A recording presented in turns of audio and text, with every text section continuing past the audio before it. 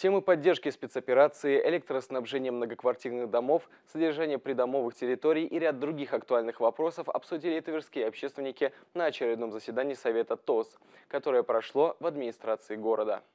Основой для обсуждения на Совете стала тема поддержки специальной военной операции и развития волонтерского движения в Твери. Руководитель инициативной группы «Добро-69» ЗВ Вадим Казаков, который неоднократно выезжал на Донбасс, рассказал общественникам о том, как организована работа по оказанию помощи и доставке гуманитарных грузов. Сейчас в его группе более 7 тысяч человек, и количество людей продолжает расти. Сделано 16 поездок, отвезено более 40 тонн гуманитарной помощи. Работа нужная, важная. Ребятам нужно видеть то, что народ рядом с ними. Из других тем в повестку Совета были вынесены вопросы городского хозяйства, в частности электроснабжения многоквартирных домов. О том, какие мероприятия проводятся, чтобы повысить надежность работы электросетей, присутствующим рассказали профильные специалисты.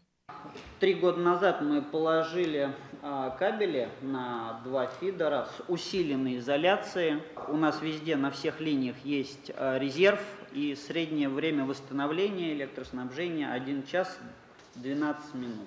Еще один вопрос его по просьбе самих общественников внесли в повестку заседания. Это реклама наркотиков на фасадах зданий.